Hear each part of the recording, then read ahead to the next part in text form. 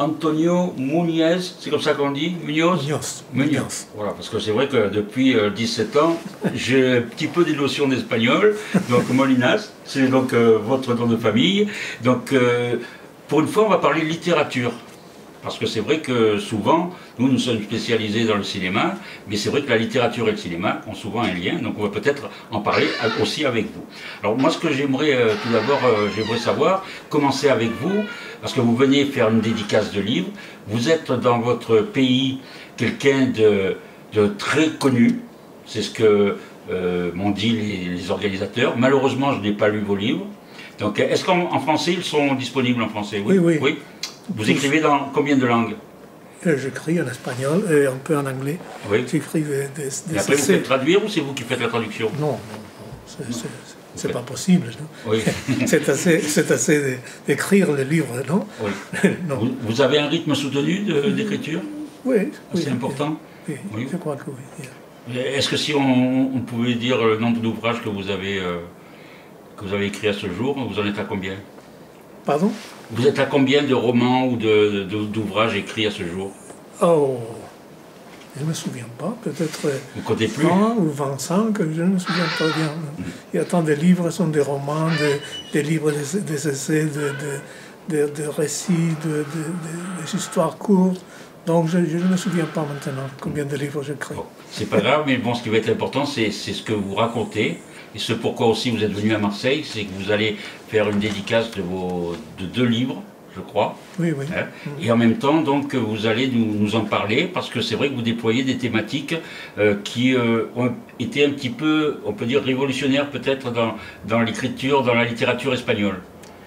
Bon, ma, euh, mon écriture, quand, quand je suis comme ma, génération des écrivains espagnols est arrivée à la littérature, à l'écriture, est arrivée au temps de la démocratie. Nous nous, nous sommes élevés pendant la dictature, parce que je suis né en 1956, donc je connais très bien, j'ai connu la, la dictature de Franco qui est mort en, en, en si- euh, 75, non? Mais mon éducation et ma formation comme écrivain a été absolument influée par la transition, par le changement, la différence entre les deux mondes que j'ai connus, le monde de la dictature et le monde de la démocratie. Je suis témoin de combien- com- que- comment mon pays a changé. Non, et les changements sont très importants pour le roman. Il y a, on écrit de bons romans sur le changement, sur le, le changement historique. Non? Si vous pensez à le, le grand roman français, non? La- un des, des- des romans que je que j'adore, c'est l'éducation sentimentale de, de Flaubert. Non?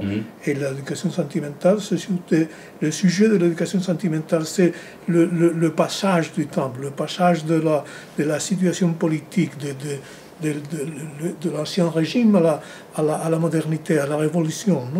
Donc euh, les choses que j'écris sont presque toujours inspirées par cette, euh, si l'on peut dire, conscience du changement des temps. Non? Parce que j'ai là une mémoire très claire de ce qu'était mon pays quand j'étais enfant, quand j'étais jeune. Je viens d'une province euh, agricole et très peu développée, autant que j'étais un enfant. Mes, mes parents, on était paysans. Et, donc, je connais, je, vis mon, pays avec, avec, mes, avec monsieur. Je vis mon pays changer, non? Changer si rapide et si profondément. Et, c'est peut-être un des éléments fondamentaux de mon inspiration et de mon écriture. Non?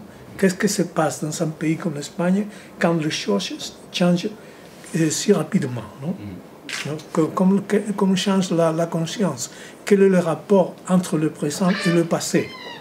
Non Ce sont peut-être le, le, le, le thème, le, je crois. non La le- thématique générale de vos oui, ouvrages. oui, oui. Alors, justement, dans ton dernier ouvrage, Un andar solitario en la gente, qui n'est pas encore traduit en, en français, Oui. puisqu'il il vient, de, il vient de sortir, Oui. tu parles euh, en tout cas de- de- d'un marcheur, c'est ça, qui parcourt plusieurs villes euh, et, et qui rend compte de ce changement, comment le monde a évolué Mm. rapidement et euh, qui capte un regard sur le- la pollution, la contamination qui nous, qui nous entoure. Et je- moi, je voulais savoir euh, à quel point la littérature du marcheur, tu sais, de Walser, de Benjamin, tu en parles beaucoup, de, de Pessoa, et son caractère fragmentaire, elle t'a influencé. Et est-ce qu'il faut être un, un bon marcheur pour, euh, pour, euh, pour, pour écrire? Oui, dans mon cas, oui. Le- le- la, le type d'écrivain que je, je, veux être. Non c'est un écrivain qui marche, non qui regarde, non qui regarde les, les inconnus. Vous avez mentionné Valser et Benjamin, mais aussi l'exemple pour moi le plus important, c'est l'exemple de Baudelaire. Non? Mm. à, la, à, la, fin de, de, mon livre, je, je, raconte quand j'ai découvert le, le, petit poème en prose, non? Le, le, spleen de Paris. Non? Mm. Ça a été pour moi une révolution. Autant que j'ai découvert ce livre, j'habitais à Rennes, parce que j'étais un fonctionnaire à la mairie de Rennes dans les, premières années 80. Et, j'ai découvert le, le, spleen de Paris. Non? Et j'ai découvert cette écriture fragmentaire et une écriture qui est faite de regarder ce qui se passe dans le moment. Non? C'est l'écriture de l'émotion du moment. Non? Parce que quand, quand Baudelaire écrit par exemple sur le, les omnibus ou sur le, les nouvelles avenues, le, le, le boulevard, c'est tout nouveau. C'est la nouveauté absolue de la ville moderne. Non? Et c'est son inspiration. Il a, il a, fait de la poésie sur média pas sur le passé ou sur une, sur une idée romantique du passé, mais sur l'expérience de la vie immédiate hmm. dans la ville. Non et dans cette immédiateté, dans cette, euh, dans cette marche, tu te rends compte qu'il y a beaucoup, beaucoup de choses à raconter, énormément. Il y a une tentation de raconter tout quand on, quand on marche, non de, de, tout ce qu'on vit et tout ce qu'on qu'on voit dans un journal. Et est-ce qu'il existe dans, dans ta, ta, prose cette tentation boulimique de vouloir tout raconter? Oui, oui, c'est une tentation universelle. C'est la tentation de, de, de, Walter, de, de Walt Whitman à New York, par exemple, non? Parce que quand, quand, on marche dans la ville, on voudrait raconter tout, non? Parce que toutes les choses se passent en même temps, non? Mm. Il y a tant d'histoires en même temps, non, mm. non? On, marche, et vous voyez, et c'est si étonnant, toujours étonnant, non? Mm. C'est impossible de, de, de, ne pas regarder, c'est impossible d'arriver au tédium, non? Parce que toujours tout c'est nouveau. Et, dans la ville, c'est la ville moderne, non? Et vous mentionnez la, la question de, de l'ordure, de la, de la contamination. En même temps, l'écriture du marcheur, du de, flâneur, c'est une écriture et aussi de, de dénonce. Parce que, parce que vous voyez la, la, comment est-ce qu'une société qui est, qui est bâtie sur la sur l'ordure, non? Sur la création permanente de, de, de des choses qu'on va, qu'on va, euh, va tirer. Non Donc cette expérience, c'est en même temps une célébration et une dénonce, si l'on peut dire. El gran poema de este siglo solo podría ser escrito con materiales de desecho, donc le, le, le, grand poème de ce siècle ne pourrait être écrit qu'avec des, des, ordures. Euh, c'est une idée qui est à la fois très belle, poétique, mais aussi effrayante, non? Ça... Oui, si vous pensez la, l'histoire du XXe siècle, l'histoire de l'art dans le XXe siècle a été fait à partir de du, collage. Non? Qu'est-ce que c'est le collage? Le collage, c'est de, de, prendre les choses qui ont été refusées et, les donner une nouvelle vie. Non? Vous pensez au collage, le grand collage de, Picasso dans les années, dans les années 14, les 12, l'année 14, 1914, vous voyez qu'il prit de, des choses qui ne vaut rien et il fait une, guitare avec des cartons ou, des cordes qui ont été refusées. Non? Vous, prenez là, là. Et si vous pensez par exemple à notre grand peintre français que, que j'adore, qui, est Dubuffet, non? Il, a, il a recueilli toutes les, choses qui, qui, personne ne voulait et on en fait de l'art. Non? Il y a un moment où Baudelaire dit, et, Baudelaire dit dans, dans l'ensemble de ce poème, il dit je pétris de la boue et j'en ai fait de l'or. Non? C'est une constante dans l'art du XXe siècle. Non? Et c'est, comme je vous disais, d'abord, c'est célébration et c'est en même temps dénonce. Non? Parce que vous voyez que nous sommes absolument. Et il y a une, invasion absolue d'ordure, de sorture. Vous pensez c'est ce qui se passe maintenant dans, dans, dans par exemple. Non? Vous savez que, que nord, euh, au nord de l'océan Pacifique, il y a une courante d'ordures de plastique. Non? Donc le, le, le, monde est presque rempli de... de, de, Et dans cette idée de recyclage, justement, on pourrait peut-être euh, en revenir à, cette grande histoire du recyclage à, à tes influences, puisque c'est les artistes qui ont d'abord inclus d'autres œuvres, d'autres horizons, on dira, mais toi, dans ton œuvre, il euh, euh, y, a, quand même un, tissu d'influence qui ne vient pas que de la littérature. On, voit aussi beaucoup, par exemple, euh, dans L'Invierno en Lisboa, l'hiver à, Lisbonne, on a une grande influence de la, de la musique jazz ou du cinéma. Alors, Aujourd'hui, on t'invite par exemple pour un festival de cinéma. Hein. Euh, est-ce que c'est -ce c'est important pour toi ce, tissu d'influence et d'épiphanie qu'il y a en dessous de, la littérature? Absolument, parce que mon éducation, l'éducation d'un écrivain ne vient seulement pas de la littérature. Il y a de, pour moi, le, ma formation a été dans l'histoire de l'art quand, j'étais à l'université. Et après ça, j'ai un grand amour de, la musique, de la musique de jazz. Non? Et pour un écrivain, les leçons qu'on peut apprendre des autres arts, par exemple les leçons qu'on peut, qu'on peut apprendre de, la peinture ou du cinéma, la, pour moi l'influence du cinéma euh, a été absolue dans les, romans que vous venez de mentionner, L'hiver à Lisbonne est absolument fait de, musique et de, cinéma. Non? Et si vous pensez que, que ce qu'on va faire quand on écrit un roman, c'est de, bâtir euh, une histoire. Non? On doit faire une histoire, on doit raconter, on doit, travailler avec le temps. Non le, musicien et le cinéaste, et tous les deux travaillent avec le temps. Hmm. Comme l'écrivain. L'écriture, c'est un art du temps. La, peinture ou l'architecture sont des arts de, l'espace. Hmm. Mais, mais, mais l'écriture, c'est toujours quand vous écrivez une phrase, vous, donnez une, forme à autant. Mm. Vous lisez une phrase de, ce, que ce que c'est le plus caractéristique d'un écrivain, c'est la façon qui, dont il use le temps non, dans, la phrase. Et vous n'aimeriez pas que de vos romans soit adapté au cinéma? Est-ce qu'on vous a déjà proposé ou... il, y a, il, y a des, il y a des films qui ont été faits, basés dans mes, dans mes, mais malheureusement, ce sont de très, très mauvais films.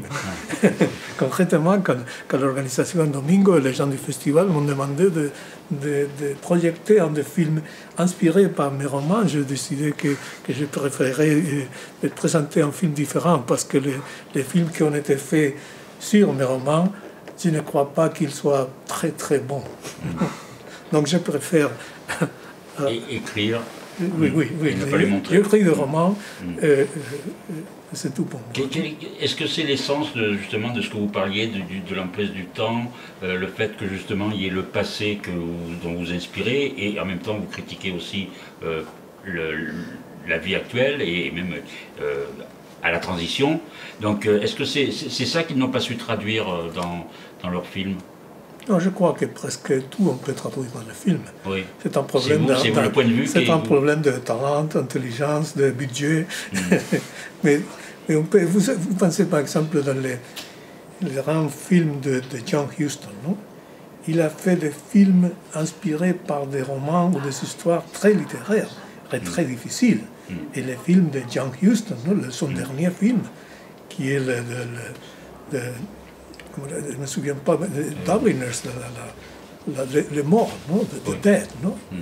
Ça se passe en Irlande, je crois. Oui, son dernier film est, basé dans la dernière histoire dans Dubliners de, de John Huston, hmm, non C'est un, vous lisez le, le c'est pas un roman, c'est une nouvelle, non Vous lisez la, la nouvelle ou le récit, et, et c'est merveilleux.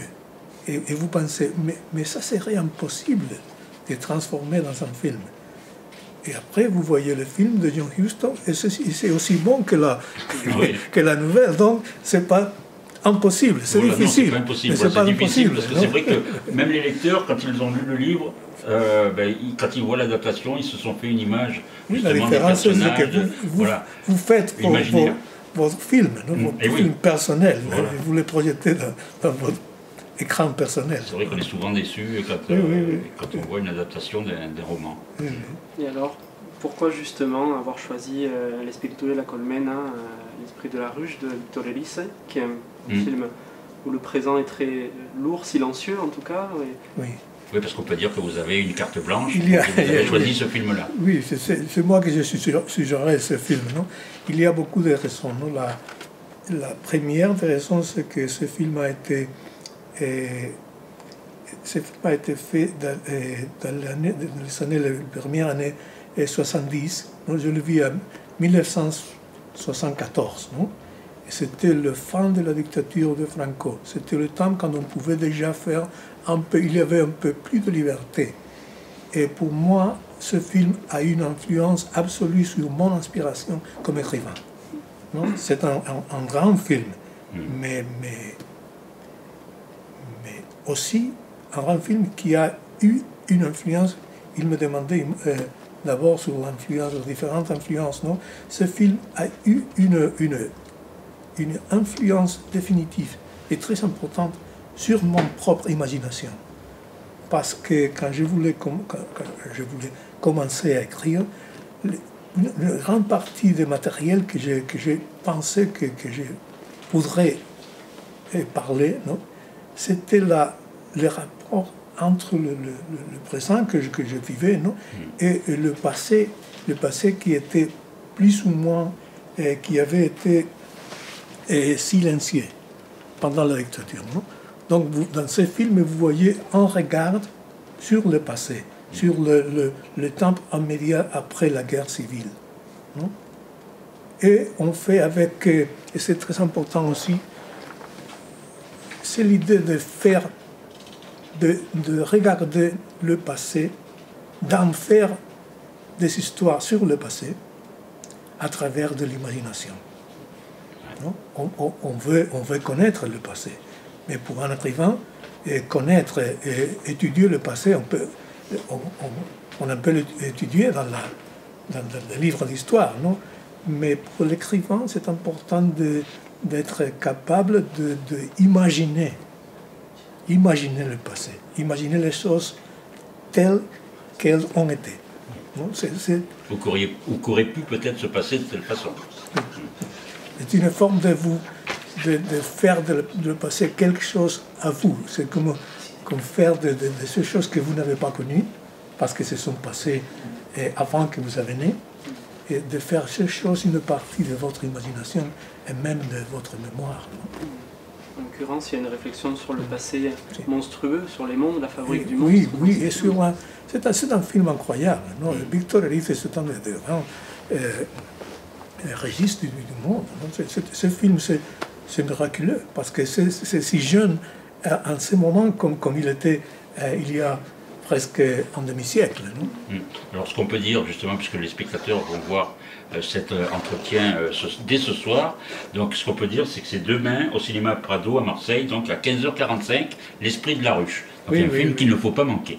Voilà. Et vous serez présent, je vous Un serai présent dans la salle pour le Un des grands films de l'histoire du cinéma. Hein? J'en suis sûr. Absolument.